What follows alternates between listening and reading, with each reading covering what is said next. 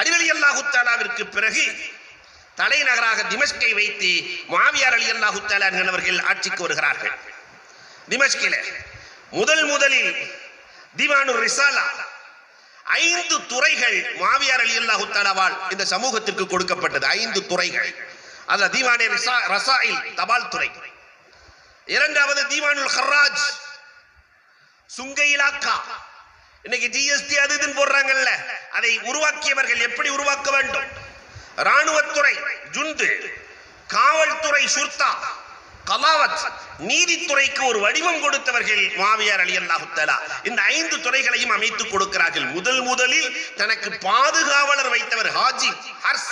வைத்தவர்கள் யார் என்றால் ஹவாரிஜியாக்களால் உயிருக்கு பிரச்சனை ஏற்படும் என்ற நிலையில் முதல் முதலில் மாவியார் அலி அல்லாஹுத்தலா தனக்கு ஹாஜிவை வைக்கிறார்கள்.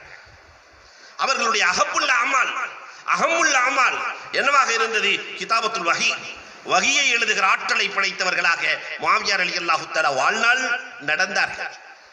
பெருமானார் செலல்லாஹு அலைவச்சலத்திற்கு கூட இருந்தது என்னவோ? ரெண்டு ரெண்டரை ஆண்டுகள். ஆனால் பெருமானாரை அழைப்பார்களாம். அழையுங்கள் மாவியாவை வகியை எழுத வேண்டும் என்று. ஜிஹாத்